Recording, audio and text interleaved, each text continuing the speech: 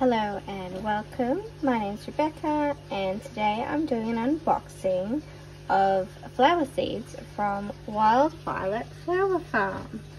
Um, so I randomly found this website while I was looking for zinnia seeds. I just typed in zinnia seeds Australia and this is the company that came up.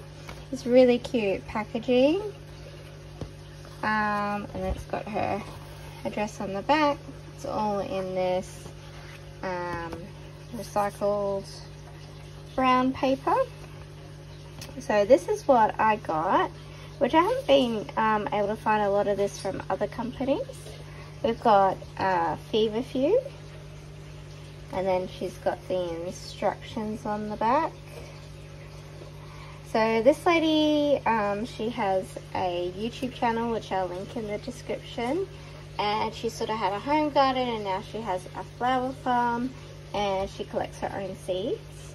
This one I'm really excited about is Cosmo Apricotta. I think that's going to be really, really nice. I love Cosmos. Haven't been able to germinate it very well this year, but I did have old seed. Then I got Bunny Tails, which is like a grass, which I think will be nice in floral arrangements.